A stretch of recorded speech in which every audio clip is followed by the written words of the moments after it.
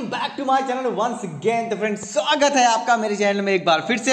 तो फ्रेंड कार्यालय जिला कमांडेंट होमगार्ड पिथौरागढ़। जी हाँ फ्रेंड काफ़ी कैंडिडेट्स के कमेंट आ रहे थे कि पिथौरागढ़ का जो डिस्ट्रिक्ट कोऑपरेटिव बैंक है, उसका रिज़ल्ट तो आ गया।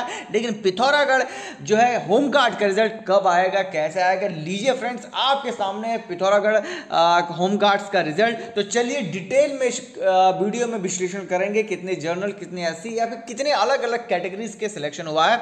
चलिए शुरू करते हैं। लेकिन इससे पहले चैनल पे नए हैं तो लाइक करें कमेंट करें सब्सक्राइब करें और डिस्क्रिप्शन बॉक्स में जाकर मुझे आप इंस्टाग्राम और ट्विटर पे भी फॉलो कर सकते हैं। उसके अलावा अगर आपको ये पीडीएफ चाहिए तो आप हमें जो है टेलीग्राम ग्रुप से हमारे ज्वाइन हो सकते हैं। डिस्क्रिप्शन बॉक्स में उसका लिंक मिल जाएगा।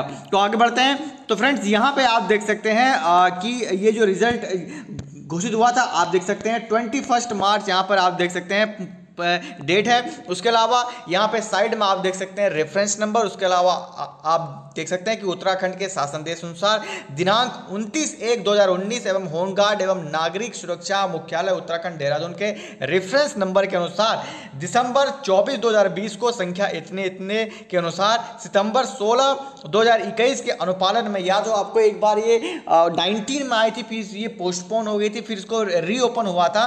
तो यहाँ पर आप देख सकते हैं सोलह सितंबर दो हज़ार इक्कीस के अनुपालन जनपद होमगार्ड में। यहाँ पर आप देख सकते हैं नंबर ऑफ़ पद कितने थे?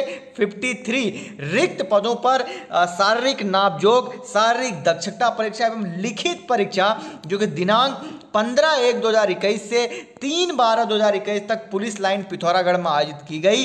शारीरिक नापजोग, शारीरिक दक्षता एवं लिखित परीक्षा में प्राप्त अंकों के आधार पर निम्न ज्येष्ठता सूची के अनुसार सफल अभ्यर्थियों को का जो है नाम घोषित किया जाता है। यानी कि आप देख सकते हैं, यहाँ पर आप जो रिटर्न आपका पंद्रह से लेकर तीन जो दिसंबर 2021 तक हुआ था, सब कुछ हुआ था। उसके बाद जो है, यहाँ पर आप देख सकते हैं लिस्ट जारी कर दी है। तो सबसे पहले फ्रेंड्स आपकी स्क्रीन पर जो है जर्नल की लिस्ट है, आप देख सकते हैं। यहाँ पर ये राइट हैंड साइड में सीरियल नंबर है, उनके पास टोकन नंबर यानी कि किस टोकन नंबर पे लाइक आप इसको कह सकते हैं रजिस्ट्रेशन नंबर देन यहाँ पर आप देख सकते हैं कैंडिडेट का नाम देन यहाँ पर फादर का नाम देन यहाँ पर उनकी डेट ऑफ़ बर्थ और उसके बाद यहाँ पे किस प्लाटून के अंदर उनका जो है सिलेक्शन हुआ है। तो यहाँ पर आप इसको देख सकते हैं। ऑलमोस्टली यहाँ पर आप देख सकते हैं, है कि जर्नल में जो है अलमोस्टली या फिर मैक्सिमम जो यहाँ पर जो है थर्टी सेवन कैंडिडेट्स का यहाँ पर सिलेक्शन हुआ है जर्नल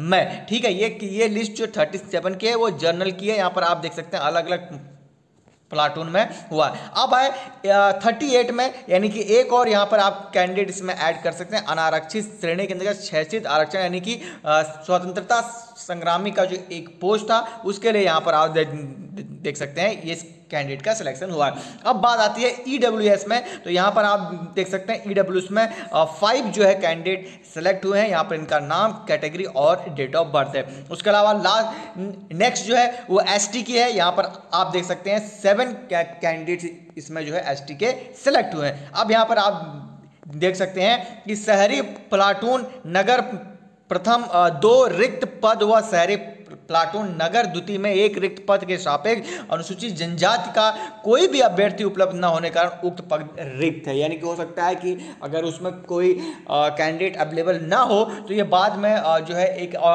अलग से लिस्ट निकाल सकते हैं जिसे आप वेटिंग लिस्ट के तौर पर कह सकते हैं। तो यहाँ पर आप देख सकते हैं सिग्नेचर नितिन काकरेवाल जिला कमांडेंट जो है यहाँ पर हैं ये उनके यहाँ पर आप सिग्नेचर देख सकते हैं। अब यहाँ पर क्या है, इन्होंने सारे लिस्ट वगैरह जो है, यहाँ पर जिला मुख्यालय जो है, उसको भी यहाँ पर इन्होंने भेज दी है। तो फ्रेंड्स, ये रही सारी डिटेल। आई होप सो आपको वीडियो अच्छी लगी हो वीडियो अच्छी लगी हो तो एक लाइक के बटन को दबा दो। अगर आ, आपको ये पीडीएफ चाहिए तो मेरा टेलीग्राम का ग्रुप डिस्क्रिप्शन बॉक्स में उसको आप ज्वाइन कर सकते हैं। वहाँ पर ये पीडीएफ आपको अवेलेबल करा दी जाएगी। बाकी जिन जिन कैंडिडेट का सिलेक्शन हुआ है उनको हमारी ओर से शुभकामनाएँ।